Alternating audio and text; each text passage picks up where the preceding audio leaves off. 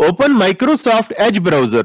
Click three dots on bottom in mobile phone and on top right corner of screen in computer. In mobile phone, click settings, then privacy and security and then site permissions. Here select cookies. To reach same page on computer, click settings, then cookies and site permissions and then manage and delete cookies and site data. Before blocking a certain site on computer, turn on the toggle next to allow sites to save and read cookie data. On mobile phone, choose allow cookies.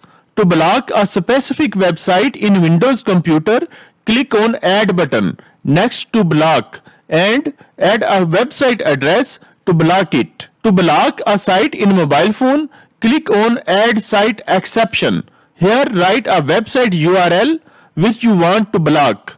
The blocked site will not open in your browser. To block pop-ups and redirects, tap on pop-ups and redirects and turn off this toggle button. Here are some pro tips for you. Thanks for liking this video.